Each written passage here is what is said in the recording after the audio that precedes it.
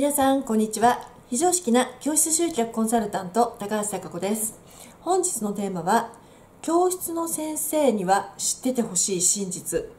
ネット集客って楽ですよ。〇〇に比べたらね。というお話でございます。はい。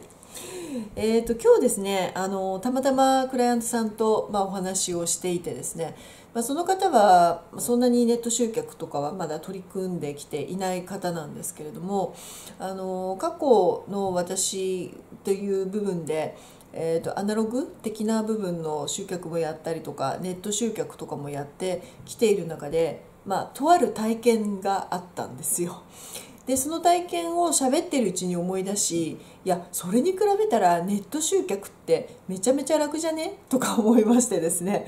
えー、それを、まあ、その方に喋ったのを思い出してであのネット集客がね大変だっていうふうに思ってる方には、え、比較対象がないから大変にきっと感じているに違いないと思ってその〇〇に比べたらねっていう〇〇のまあ、真実ですね。それを今日ちょっとお話をしていきたいというふうに思っております。はい、えー、それではね本題に入っていきたいと思いますまずですねネット集客が大変っていうふうに言う方はですねあのそもそも集客に近い活動要は営業活動をしたことがない方は大変と思うのは理解できると思いました。えー、どういうことかっていうと営業活動っていうのは基本会社の中でやった場合今はだいぶオンラインとかっていうふうになってるはずですよ。えーと、私が営業をやっていた時っていうのがもう10年20年以上前の話にはなりますけれども基本営業って face to face なんであのお客様のところに行って話すとか法人の場合特になんですけどねでお客様と接触するっていう基本出向く、まあ、足を使うというのが、まあ、基本なんですよね。でそれが法人の場合には1箇所で済みますけれども個人の場合だと一個一個訪問していくことになりますよね。さらに言うとそのもうちょい手前だと、まあ、通りすがりの人にチラシをまいたりとか、まあ、そういうようなケースもあるんですが要は営業職っていう職業はアナログがベースになっていて足で稼ぐっていう言葉があるごとくですねまあいわゆるガテン系なわけですよあのアナログな感じですからね。でその教師の先生になる方ってまあ当たり前なんですけど割と主婦からなったりとか、まあ、そうじゃない事務職からなったりとか営業職から教室の先生になる人って多分少ないですよ。でよくよく考えたら私の経歴って珍しいんだってまああの思ったりとかしてるんですけどね。営業系をやった人なら足で稼ぐ汗水垂らして動くお客さんに自分が悪くなくても罵倒される会社の代表として謝るとかね、まあ、いろいろなシーンとか納期で胃が痛いキリキリみたいな自分じゃないとこで失敗しても謝りに行くとかね。そういうのもやってるんですよ。でそういう経験があるとですねあのその集客の苦労ってウェブ上での集客の苦労に比べたら全然あのウェブが楽だなっていうふうに思っているんですよだからあのウェブ集客って楽ですよって私言ってるんです。でそれはもっと大変なことをやっているからなんですね。だからその比較対象がないからいや SNS アップしなくちゃとかブログ書かなくちゃ大変とかって言うんですけれどもあの家の中でできるじゃないですか基本的に。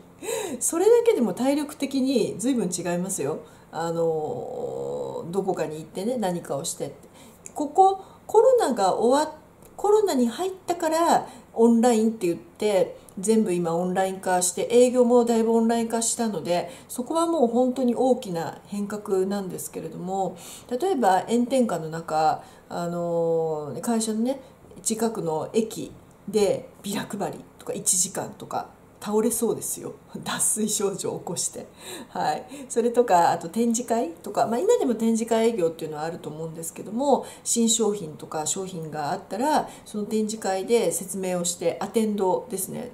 ずっと立ちっぱなしです基本。搬入搬出もメインで自分がやらないにしてもみんなでやるにしても移動の体力一日中立ちっぱで接客をする体力その、えー、場所を片付けて撤収するこの辺りを考えてもですねすごい実は体力を使っていてあの何をやるにもまあもう体力勝負ですよ基本的には。でそう考えるとその場所に行って何かをしなきゃいけないとかえー、その対面でね会うにしてもオンラインとかじゃないですから昔は一軒一軒私教室の先生のね営業とかもやってましたけれどもあのコネキを紹介する営業なので家庭じゃないですか皆さん。ご自宅でしょ？だから家に一軒一軒訪問するんですよ。住所からね調べて訪問 OK ってもらったところは。でしかも男性営業と女性営業っていう形女性の営業は私1人だけだったので教室の先生ってご自宅だから女の人だし旦那さんの目もありますからあの教室の営業は一手に私が全部引き受けてたっていう形ですね男性の方たちはあの一人でいる先生のとこになかなか訪問って難しいからっていうのがあってまあ、教室ね回ってたんですよ。まあ、とにかく営業といえばあの実動行動と、えー、まあ、体を使って頑張るみたいな 感じで、まあ、もちろん会社のお金を使って会社でウェブ広告とかは打ってくれてますよ。ますけれどもそれがあくまでも全国規模のところの集客の時にウェブを使うっていう感じなんで基本一人一人人海戦術的な部分がとても多かったんです。なのでそれを経験している私があの実際に、えーと、と自分がね教室をやる上でウェブ集客で最初からやろうって決めてたのはあの体力も時間もたくさん使うアナログは厳しいなって思ってだからネット集客のコンサルタントの先生のところに一番最初に着いたんですよね。全国的にあの集客をかけたいと思ったら絶対にネットだって思ったんで、はい、それもあってねウェブ集客をやっていたっていうかやることにしたんです。でその時の私の比較対象っていうのはまずその自分が経験してきたアナログのゴリゴリの対面営業がまず一つが比較対象になりますね。これに比べたらネット集客なんてめちゃめちゃ楽ですよ。あのどういうふうにやるかは別としてですよ。あだって家で完結するじゃないですか。少なくとも。交通費もかからないし。だからそういう意味では SNS の更新が大変って言っても外に行って何かをするよりは全然楽だったっていうのがまず一つですね。でもう一つはあのネット集客っていうのはあのターゲットお客様ですね。お客様像がしっかりしていて、えー、キーワードとかで検索される検索システムっていうのが、ね、ウェブ上では当然動いていきますから検索されるように自分がちゃんと文章を書き検索されるようにタイトルをつけてとかっていうことを最初に学んだんですけれどもいわゆる SEO 対策っていうやつなんですがそれをやると自分が寝ててもですねキーワードを探してくれた誰かが勝手に私のサイトを探し勝手に募集要項を読みそして勝手に予約が入る。この状態で朝起きて予約が入っているのを見た時に衝撃的に嬉しかったですよ。だって自分が本当は出向いて説明してやっと決まるものがウェブ上で完結してしかも入金までされているみたいな。すごいとか思いました。めちゃめちゃ楽だと思う。っていうことはその楽な感じをもっと増やしたかったら勝手に探されて勝手に集客できる文章を頑張って書けばいい。ということになるので、まあ、それを量産すればいいというそのサイクルでずっと動いていたのであのアナログでやるよりはあの全然楽でした。でもう一つ楽だと思えた要因があの実は私が入会した、えー、ビジネスネットビジネスの先生のところっていうのは物販を頑張る男の人たちが多かったあのグループだったんですね。あのリアル店舗の方ももちろんいるんですけど教室の先生なんて1人か2人いるかいないかレベル。教室の先生っていうよりはパン屋さんっていう授業をやってるようなビジネスとしてもうガツガツにやってるような方がいらっしゃるっていうそういう感じではあったんですけれどもそういうレベルだったんですよ。だから1階のパン教室の先生がそんなネット集客とかネットビジネスを学ぶような時代ではなかった。ですね。今のように企業塾みたいなあんなのもなかったですし普通に私がネット集客って必要だよねと思ってネット集客を教えてる先生のとこ行っただけなんで。でその中にいる形っていうのはもっと SEO 対策とかもっとページたくさん作るとかウェブを自分で作るとかあのサイトいっぱい持つとか商品いっぱい登録してとかすごいこう地道で面倒なことのネット上のことを当たり前のようにやっている人たちが成果を出している人たちがいたんですよそこに。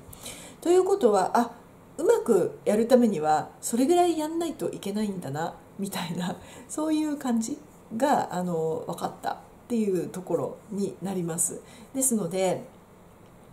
あの私が比較したのは自分の大変だったアナログ営業の自分の時間の使い方と動き方もう一つはネット集客でバリバリやっててうまくいってる人たちの、えー、サイト制作の数量、えー、テキスト作りとかの量とかっていうのを知っていたのでそれに比べると教室業でウェブ集客っていうのは当時めちゃめちゃ楽だったと思います。あのやってる人がそもそも少なかったしやってる方ももちろんいらっしゃいましたよ。いらっしゃったけど今ほど全然 SNS とかも別に流行ってなかったしせいぜいアメブロがあるかなぐらいの雰囲気でしたから、はい、その時代でやっていたっていうところですね。ですから確かに今は SNS は増えてます。増えてるんだけれどもあのそのそっちですよそのゴリゴリの通販頑張るっていう方の領域なのか外で足で稼いで今はオンラインになってますけれどもねあのその自分から出向いてっていうことをしなきゃいけなかった営業に比べたら格段に楽です。だからあのネット集客でで楽ですよって私今日言ったんだけどあの普通の営業に比べたらねっていうことをね言ったんです。まるっていうのは営業です。であのその中の比較対象としては自分が動くんじゃなくて相手に動いてもらうっていうのがやりやすいのがオンライン